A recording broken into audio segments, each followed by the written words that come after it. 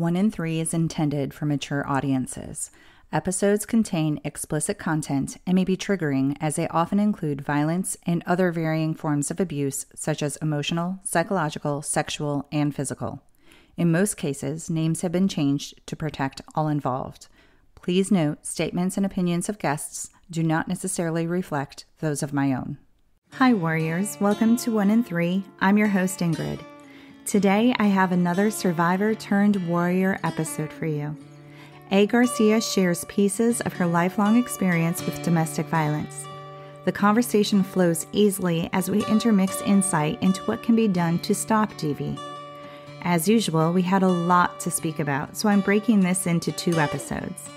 Here is part one with A. Garcia.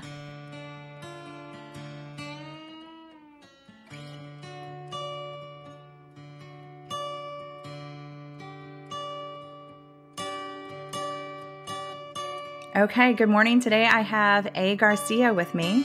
Welcome. Thank you. Thank you for having me. And I don't know if you want to give a little brief introduction before I know you and I are going to talk a lot. And so I don't know if you want to give a quick little background of how, well, we don't have to talk about how we got introduced to each other because that's a long tale itself. but um, if you want to give a background of what you're doing and, and and whatever else you want to share. Sure. Thank you. Um, more than likely, I have a feeling we're going to talk more about what's happening today and what's going on now. So I'll just share a brief background of, you know, my life and why I'm here on your show. You know, one out of three, you know, one out of three is the true statistics of, you know, women that have either, you know, been exposed to or actually experiencing a form of domestic violence you know uh, the needle hasn't moved for decades. We've been fighting for rights and you know the severity of, of, of this topic for centuries since 1641 okay? Um, and so now for the statistics to be the needle to have moved those statistics since covid by the way not sure if you're aware of that. Covid was a our domestic violence was a pandemic in within the pandemic it definitely moved that needle forward. Uh, one out of four men are now um, a part of or exposed to or have experienced a form of domestic violence. So one out of three for the women, one out of four for the men, right? That's pretty significant. So um, for me personally, I will say that domestic violence was a part of my life for a very long time. Um, unfortunately, I was born into it per se. I didn't know anything different uh, or anything better. And throughout life, you know, it wasn't until I had my my first child as teenager that I was like, "Oh my gosh, this is not what I want for my kid. This is not what the life I'm going to give. This is not the environment I'm going to provide." And it's so weird on how that was just like a switch it was just a switch. I don't know how or why or what, but I knew when I was bringing another human being into this world, I was not going to share the life I had. It was going to be a different one. And so I've just like I said, I was born into it. My my my mother was in an abusive relationship, so there was this gestational trauma that I experienced before I even came into the world. And his the the situation, the environment was uh, bad enough for her that when she left, she packed her bags and left. She didn't take her kids. And so after we were abandoned, I say me because I had a, a, a, younger sister at the time. A year after she left, um, my sister passed away. So now it's just me and my dad, right? In the environment that my mother left. And, you know, here he just lost his baby you know? So his coping skills were not the best you know? He worked third shift and slept all day and we had nothing. No relationship no bond no connection no nothing. So you know i i did have some aunts that stepped up and stepped in for quite some time. And then it was you know the streets I resorted to the streets. That's where I had friends. That's where I had fun. That's where I was, you know, very occupied. I, as a little girl, without having any type of, you know, counseling or knowledge around this stuff, I sought different things to take up my time. I wanted to be anywhere but home. So I was at any after school gig. I was at the recreation park. I was doing anything and everything but to be home. So by teenage years, um, you know, first puppy love, it was very abusive. We were fist fighting on the floor, on the street, anywhere, everywhere. Uh, you know, I, I didn't know any better. That's how, it's what I understood. So again, when I had my daughter, that's when, you know, life changed. Uh, we, we separated after she was a, maybe three months. It was that fast. Um, you know, he got, he turned to the streets. I was not about that. It, you know, I don't want to go too far into that, down that rabbit hole, but I can tell you that the abuse did not stop just because we separated. I had my daughter on a little, you know, big wheel uh, outside going up and down the block and he showed up with a car grabbed her threw her in the car and took off. And me i'm running after the car. I jump on the hood. It's like a movie. He's swerving back and forth and you see my body all over the hood. I'm like call the police. Whoever can hear me that's outside. I mean it was the most ridiculous thing. By the time he was able to get me off the car my shoes were like like threads. And i'm running back home running back home. It wasn't for about a mile by the time I got home, thank goodness somebody had actually heard me, saw the situation, called the cops. They were there. You know, I, I shared everything. Uh, they went to go, you know, obviously to the house and get my daughter and bring her back. But it's like, it is, it was just nonstop. So, you know, I suppose we can start there, right? For these young ladies and young men that are that are in high school that are that are dating that are feeling like home isn't where they're feeling loved or being heard or being seen or having this like connection that you know is yearned for in in that in that puberty stage or that you know transition from adolescence into you know teenage years or young adulthood.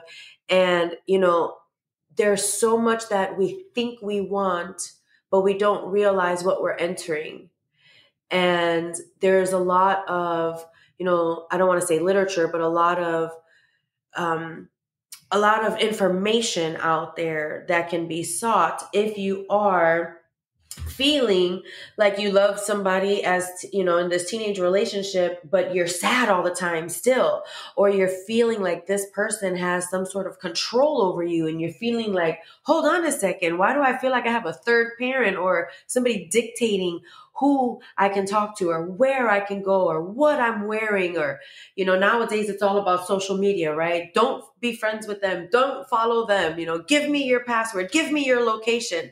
You know these are all flags. These are all flags. You're absolutely right and I think that's where you know if we ever were to truly stop domestic violence, we have to prevent it. And I think that's what's super important, especially in the youth who maybe are coming from homes where that's what they think is the normal. And that's what's so important about education and people talking about what's happened is so that you understand this isn't like love should not hurt. You know, you shouldn't be sad in your relationship all the time. It shouldn't physically hurt. So I think you're absolutely right with that. And I think I think maybe that's where maybe that's where, you know, we hone in a little bit is like what is the definition of hurt? You know, sometimes in my personal opinion, it can be not even hurt. It could be all of this like confusion and the doubts. You don't even realize you're hurt yet. You're just wondering like why why am I feeling a certain way or believing a certain thing? Why am I convinced or why am I just so full of doubt that I'm so confused and I don't even know who I am anymore or, or what I'm doing or where I'm going? I think that that is maybe a little more prominent in those teenage years than the the cra- the crying and the sadness. I agree because you know in those teenage years just without being in a bad relationship just being a teenager you're trying to figure out yourself. You don't you don't know like why am i feeling this way? What is going on? And that's just a normal part of being a teenager and hormones happening. So it is right? And it's it's makes it so much more difficult there to you know everybody talks about red flags and green flags and it's hard to determine then well is this really a red flag or is this just is that normal behavior and reactions. And I love that you're saying that because um, red flags are they yours or are they theirs? right. Exactly. Exactly. Right? And and not to be, you know, I, I just I want to be very transparent. I like to keep it raw and real. And, you know, it's it's it's a fact what I'm about to share. Um, you know, because I, I worked with women that did this for a very long time in her life. And she said, you know, violence in teenage years actually increases around the time of the menstrual cycle. So what you were saying earlier as it relates to, you know, those hormones being a bit out of control, you know, in those teenage years is happening on both sides, right? For the boys and the girls, they're both going through their hormonal changes and we know even as grown women sometimes it's out of control. We cannot control. Um, yes. so can you imagine? It's almost like this perfect storm, you know, where where the boy's becoming the young man and they're feeling, you know, that testosterone pounding on their chest, and you don't know where they're coming from with in their home. And then you have, you know, the girl becoming that young woman, and they're just like they can't control how they're feeling. And if they're feet if they are feeling intimidated or bullied or pushed around, trust me, at some point, like a cat being cornered, we're gonna scratch back.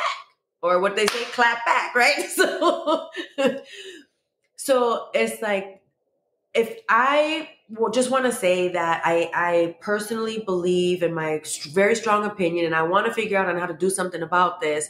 You know, when they're teaching sex ed, in school when they're teaching about you know puberty and they're teaching about these things this is the time to talk about domestic violence. This is the time to talk about what you know consent is. This is the time to talk about the feelings that come with all of these changes that you're going through. And i don't understand why this is not like every single year in high school you know a required course.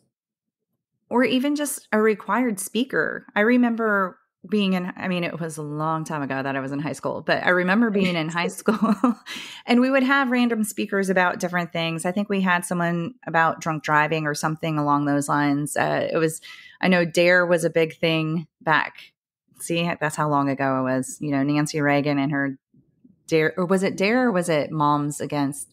Whatever her little mad. yeah you mad that's what it was. Um so that that was the whole platform then. And i know we had a lot of presentations and speakers coming to talk to us about this. This would be a good opportunity to have someone come and you know maybe not give terribly gruesome details of things but gruesome enough to really hit home and tie that in to like what you said you're you're doing sex education anyway. Let's talk about consent. Let's talk about what yes means what no means what no looks like. I mean no doesn't have to be somebody actually saying no. No could be incapacitated and you can't say no. You know, thing, things along that line. I think that would be a great idea to incorporate yeah. that into the oh education.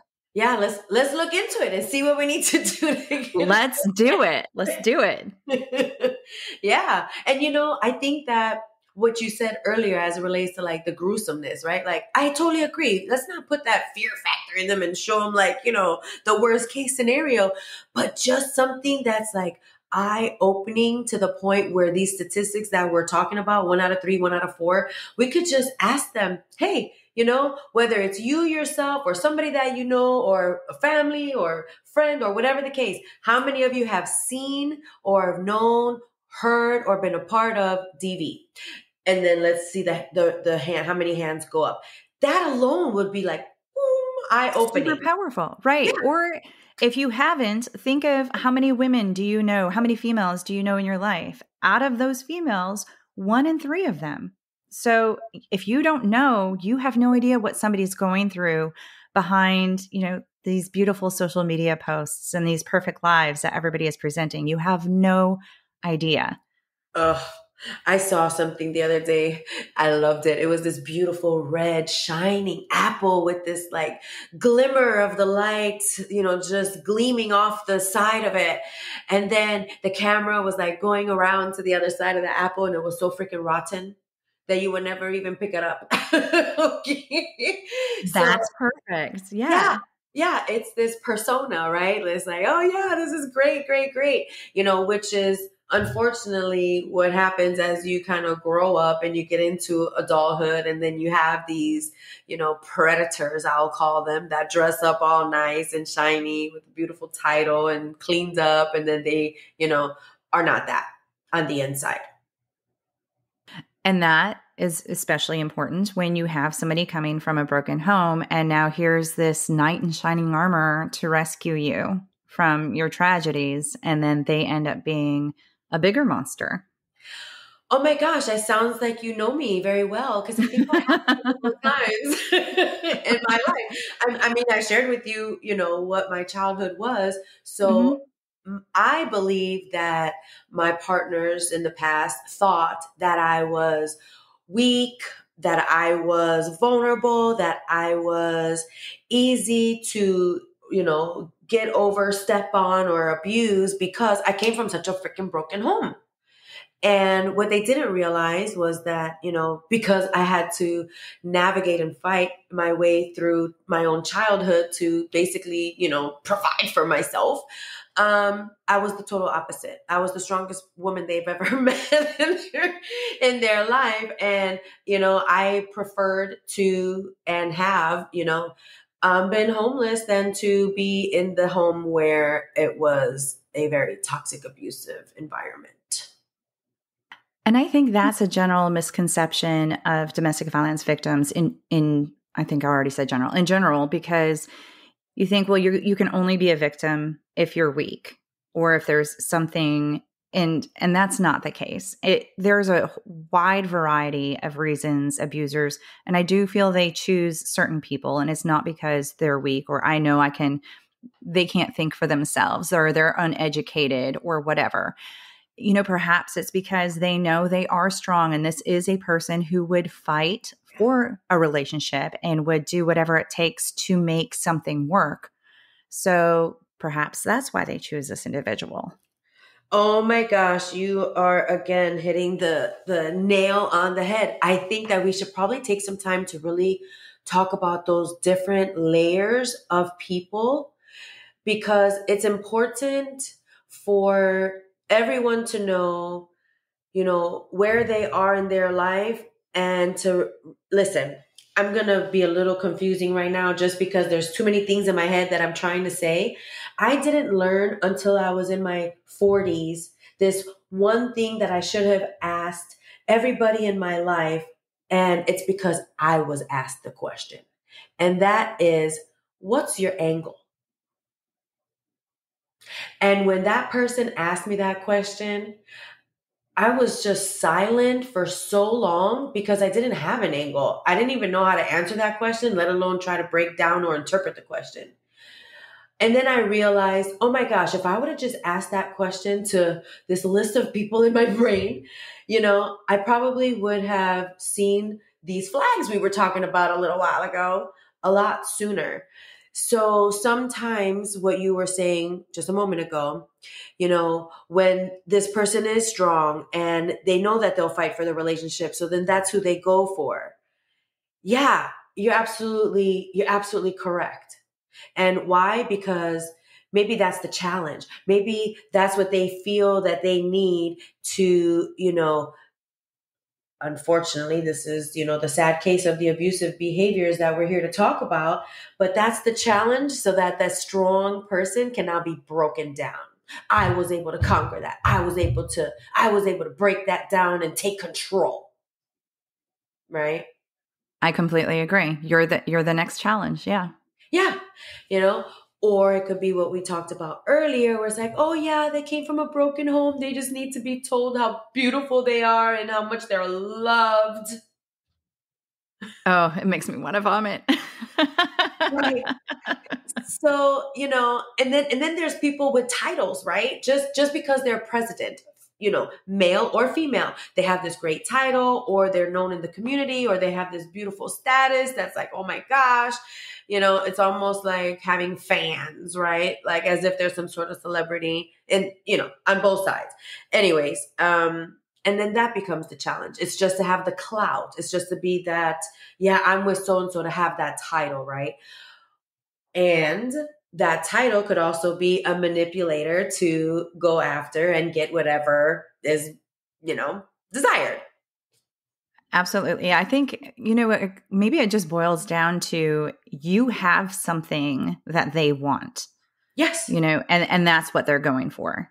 And that's what they're trying and it, and like you said it could be power. It could be intelligence, it could be whatever strength and they want that. They don't have that themselves, so they want that. And yeah. that's why you're the challenge. I wanted to say you know maybe asking you like what is your angle that you know what that it twists it now yep. to where it's it's a you thing it's not a me thing it's not you know that's yep. so interesting yeah Sneaky. and then yeah and i think if there's a knee-jerk answer and it sounds so good then they were it was premeditated they were they they have that answer already somewhere up their sleeve because if there's really nothing there or there's like you know something that's very specific you know i don't I, I, don't know. It's like this is it's a good test. Where are they? Are they are they going to be honest? You'll be able to pick it up. I think there's so many layers to really you know take apart in that question and in that response. Seeing how long it takes for them to respond. What is that answer you know? Yeah because like as you were saying that i was sitting here i'm like what if somebody i have no idea what i would answer because i don't I'm just me. You know, I don't know what there's no angle. I don't get what that even I don't even know how I could answer that. Exactly. Yeah. And you know, I think that you know, I'm going to be a little biased here. That's probably more so on the women's side because we don't have that angle. I'm not saying, you know, I'm not speaking for all of us. There are some abusive women out there that definitely have an angle. They just want to level themselves up, use whoever they want to get, juice them is what I call it, you know, and then move on to the next and see who else they can juice. You know, that's just a real thing. Um, you know, but we won't go down that road right now. I love that term, juice them. That's great. yeah, it, it is both ways, you know. But you know, um, I, I I was able to work with someone else in the past that said they, you know, asked several men, "When was the last time you were in fear for your life?" And you know, really, it took more up to like five minutes to answer, and it was like you know, something from childhood, you know. But then when you ask a woman, when was the last time you were in fear for your life? You know, the answers are immediate. I was at, when I was at the grocery store, when I was going for a walk, you know, like it, there really is fear that is within us every single day in society, uh, you know, alone. So when we feel like we are emotionally attached and we are in a trusting relationship and there is vulnerability there, and and then we start getting chipped away and chipped away and chipped away mentally emotionally financially you know and sometimes physically and sexually spiritually you know. That type of abuse i think is very much more long term and detrimental to us as it relates to healing and coping than that physical you know abuse I agree. And not to downplay physical abuse because it's horrific. But if somebody comes up to you, you know, you're in a relationship, you've gone on two dates and they they punch you in the face. right. Whoa, what's going on here? You know, and you know, hopefully that's a big enough wake up call that you're you're out of there. But uh, I just um, I don't know the Netflix has a documentary series, and I actually just did kind of a, a quick episode that I posted um, just going over what my thoughts were. I didn't redo the stories because they did it was great stories. Um, but one of them they were married and it was just emotional, not just, but it was emotional, psychological abuse, controlling behavior for years. They were married, they had kids, and years later, he punched her. And you know so when you get to that she that was enough for her which a lot of times that's not. You excuse it away. You think well okay you know he or she was drinking or they had a really bad day that day. So they've never been physical before but they've been laying that groundwork that emotional and psychological abuse where they're like you said they're taking you apart piece by piece to where now you doubt yourself. You're not that strong person that came into the relationship. And i i think of myself like i turned into a shell of of what i used to be. I was just like this mm. little shell before it got physical. And it, i didn't have any of my strengths to fall back on you know at that point. And i think that's really important is to recognize the subtlety of abuse and that long-term effect of the the the the mind, the mental abuse because that's where you don't see it. And I was actually I was just speaking to somebody about this. It was it's almost like this teeny tiny little virus that stays there in your brain. It they put it there and now it's stuck there and you can encapsulate it and put it aside and ignore it, but if you ignore it, it it can fester and it can grow and it can explode on you with no idea that it's even coming. So you have to know it's there. You have to you don't want to nurture it. You don't want it to grow, but you you have to like keep it keep it in check and recognize it and say, "Okay, I know I had this trauma. It's been sitting there. I know going forward into this situation, I may have this reaction. I might have these feelings. Those feelings are okay. That reaction's okay. But, you know, I don't know. It's it's a very difficult place to get to. And I mean, therapy for, for sure helps, and having good, strong support system helps. But not everybody has that. So, you know, what do those people do? You don't have the financial means to get. I mean, it's a lot of money to see therapy, a therapist. And yeah, so like, how do you how how do you get past that? How do you how do you fix that? You can go to the hospital for a broken arm and they'll fix it. Um, but how that that mental and emotional those scars are deep and not even necessarily recognizable right away. That's right. And you know, um, I'm going to take what you just said as an opportunity to share a little bit more about me and my my story. Um, I just gave a little bit of background in the beginning, but the the, the story here where it gets hot and heavy and all that kind of stuff. I'm just kidding. um, you know, after after I had you know my daughter as teenager, and I you know broke it off with the dad, the donor I call him, and uh, you know all that drama that led up until you know he finally left. He left. He left the city. He left the state. He got himself in enough trouble that he needed to go. So I was like, thank you, thank you, thank you. I do not need to co-parent. I can do my own thing and whatever, right? But did I get child support? No. Did he make phone calls to get to know his daughter? No. Did he ever call to see how I was doing, how she was doing, if there was any help that was ever needed to make sure that she was okay? No. Fine. No problem. Okay. So I go back to school, I get my GED, I go to college, like the day after. Literally, they came in and they said, Tomorrow's the last day to register for college for all of you GED student graduates. I said, I was in line. All right. So um, I got to the place where I had my own apartment that was right across the street from where my where my daughter went to school, and then two blocks, three blocks down was the babysitter, and three blocks the other direction was my job. So even if my car broke down, my daughter would be at the babysitter and make it to school on time, and I will make it to work on time and be able to pick her up from school when the bell rings. Okay, that is how on lock I had it. Now feeling independent on top of the world. You can't tell me anything. I got it down to a science. Whoop, whoop, right?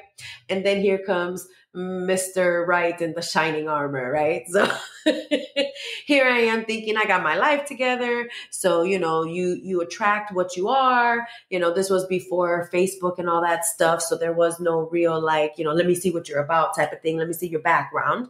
So, anyways, I ended up um pregnant with my second child and he was offered a job all the way across you know the other side of the states. And i was like okay you know i shared with you my childhood when you know when you are born into you know a not so great neighborhood and that is your life. Uh, getting out of that is you know like you're making it right? You're out. Yes you're successful. Well i'm still questioning that to to this day. What does making it mean right? So long story short, um, he was offered the opportunity. I said yes. He went first. I would. I waited until my daughter was on spring vacation. I finished my semester. I voluntarily left my job, packed all my stuff, took the road trip. Okay, I was seven months pregnant, taking that road trip. And so when we got to, you know, the, our place, uh, you know, I was just more so focused on getting to know the neighborhood, getting to know who my new doctors were going to be, getting my daughter into the school. She didn't even miss a day because I did this during her spring vacation. Okay. And so our belongings arrived about three weeks after we did. So while I'm unpacking, getting all, you know, our stuff kind of settled in, I'm in this nesting period now. I'm, you know, on my eighth month of pregnancy here. Um, I have found belongings of another woman. So when the donor, not I call him, gets home, I waited until, you know, uh, dinner was done, homework was done, the home was cleaned up, and my daughter was sleeping. And I said to him, I found belongings of another woman while I was putting my stuff away, and I would like to know what the heck is going on here. And he said, You're going through my stuff? I said, No, I'm not going through my through your stuff. I'm putting my stuff away as I'm unpacking. And while I was doing that, I found the belongings of another woman. And before I could finish my sentence, he had already backhand or not backhanded, but like hit me to the floor and sat on my stomach and with his left hand around my neck he's with his right hand closed fist punching punching punching to the head. And i don't know what the heck i'm doing squirming making noises i don't know. And then i hear my daughter's voice at the top of the stairs. Mom mom i never heard her voice in that scared tone ever. And all of a sudden, it rang to my ears, to the center of my core heart being. And I said, That's my daughter and I slammed my feet on the on the flat on the ground and I pushed my hips to the ceiling to have him roll off of me. I popped up on my feet. I don't have no idea how. I ran around the couch. She was already taking that last step off that stair. I grabbed her by her little hand. We ran out the front door, which was right there by, by the couch, barefoot and in pajamas. And that was the first time he ever was physical. And that was the first time he was ever physical. And I purposefully, I purposefully had an argument, like a big argument with him before we even left where we were both from, because I needed to see where his temper was, what his, you know, and it's not that I was worried about it. This was actually like an advice from my friend, which I took. so there was no sign of abusive behaviors of any sort because I would have never even entertained moving and leaving my life behind if I knew that there was an inkling of something like that that was going to happen. Okay. So I don't, we're not going to, for the sake of time, I'm not going to go too deep into like those moments after and, and all that kind of stuff. What I can tell you is that, you know, that was almost 20 years ago. Okay. And so from those 20 years, I never went back home. Okay. I, you do not let me let's talk about some safety things here. I was able to call the police that evening and he was taken away. All right. I didn't know what the what the laws were because it was a brand new state that I was in, I, county, all that. I didn't know he was going to get out in 2 hours. Where I'm from, Chicago, the year out in 2 hours, that's nothing. Slap on the hands, go go go. You know, where I, I didn't know. I was worried. So anyways, um throughout this 20 years of my life, navigating the ripple effect, the ongoing trauma mentally, emotionally, financially, spiritually, everything that comes with the abuse that you in, endure, the devastation, I don't want to say abuse, the devastation you endure when something like this happens to you, okay, is is we'll be here all day. I don't want to, I, I, can't, I can't get too deep into all of that, but the navigating that is required to protect, to provide, to stay private, to have, feel like you are protected and that you can protect your children, to feel like you have a sense of security, you know, to be able to, be in society without being seen in society or heard in society. You know these these are all things that are real. And you know communicating your situation when you're embarrassed when you're ashamed when you feel like there's this judgment or opinion that's going to be put forth to you whether that's in your child's school at your workplace uh, anywhere you are. There's there's so much involved in all of this. And then when you are in need when you have real needs you know where do you go? Who do you talk to? And when you get that need that, that changes your circumstances. So once your circumstances change then your needs change again right? And then as you're going forward uh, moving forward it's like your trust is gone. Your trust is who do you trust? You, you don't want to trust your neighbor. You're, you're questioning your friends. You're questioning yourself you know? There's there's so much there's so much to it. And for those that may not be where I'm at 20 years, you know, 20 years later, you know, I'm here to tell you that, you know, if you don't like who you are as a person, there's your first red flag. If you don't know who you are, if you're confused about who you are, there's another red flag. If you are wondering what the heck you're doing, where you're going, and what, what purpose or existence you have, here's another flag. If you're putting, if you have this inner critic that you're convincing yourself, this voice in your head that you're convincing yourself that you're ugly, that you're stupid, that you can't do this, that you can't. If there's any of these negative things that's that's suppressing you, there's your flags. Because yes, you can. Yes, you are. Yes, you will. Yes, yes, you can. These are all the things that, you know, you have to have within yourself to have the strength to get up. When you feel like you are down, it's because you are. Okay. And if you don't have the strength to reach out to other people, then you have to reach within. And mirror neurons are a real thing. When I was going through that stuff, the the next like two two weeks after that, after that double attempted homicide, because that's what it is. It's a double attempted homicide, okay? I was crying and crying and crying, trying to figure out what, why, how. And you know what? I realized that's not, I can't. I can't do that. I can't try to figure out why somebody did what they did. I can, and I can't sit here and, and blame myself for not knowing or not being able to see or not being able to prevent what I need, what, what needs to be focused on. Who am I and what do I need to do right now?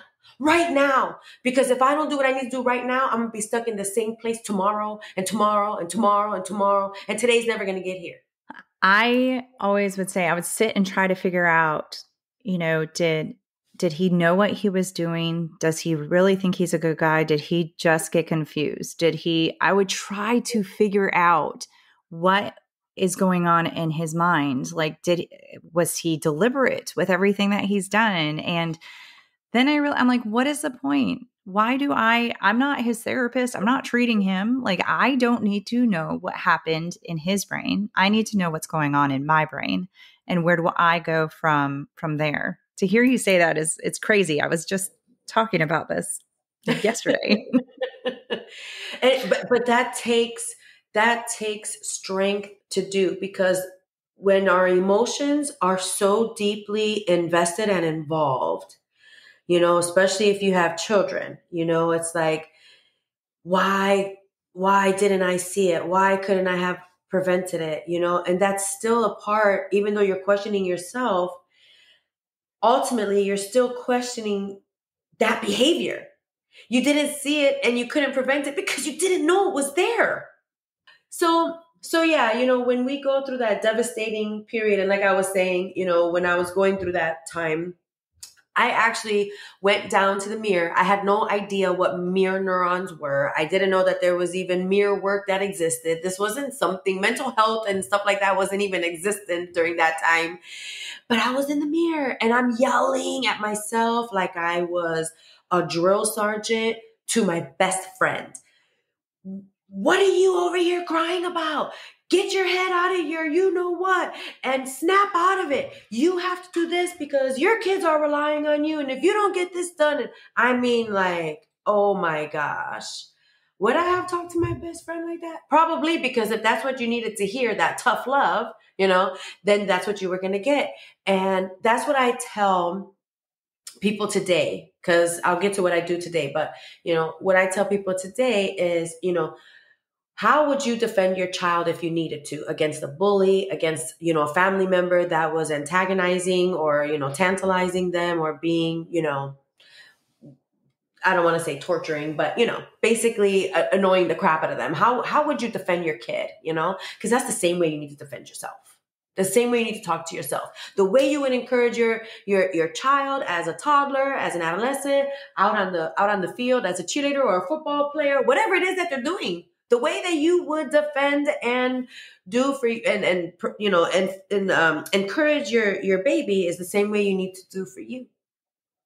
Right and it's so hard for whatever reason it's so hard to for well i know for myself so i can't speak for everyone but i know for a lot of people to recognize that that it's okay to advocate for yourself and one of the most powerful things that i had I, because I went into therapy. It was my therapist was like, you know what? Let's do a little visualization experiment. Close your eyes and why, write down the events that happened to you. Mm-hmm. And, and, I was like, you know, I, this is like first or second session of me ever doing therapy. And I was like, this is dumb. And so I'm like, whatever. So I'm imagining it. And she said, okay, now I, what I want you to do is I want you to read it. And the way she said to write it down, she said, don't, write it down in first person point of view, like it's third person. So now I'm reading it and she's like, what do you think? And I'm like, that poor woman. And then I kind of, I was like, oh, I have like all these emotions for this woman. And, you know, I want to tell, like, you were abused. You went through this. You get up and stop, you know, be strong. It's okay. Like everything that you went through, it's okay to feel all these feelings, but now you need to go. You need to get up. You need to take care of this. And it wasn't until I was able to read it that it was somebody that it happened to somebody else for me to recognize that I needed to tell that to myself. Mm. And it's, I, I just, I don't know why it is. It's easier to defend another person than it is yourself. I don't know why either, but the moment you recognize that you struggle in that, just pretend you're somebody else and get in the mirror and do it. exactly. you know, we we we it, we're making it sound like it's easy. It's not easy until the light goes on in your head that that's what needs to be done. Then it becomes a little bit easier.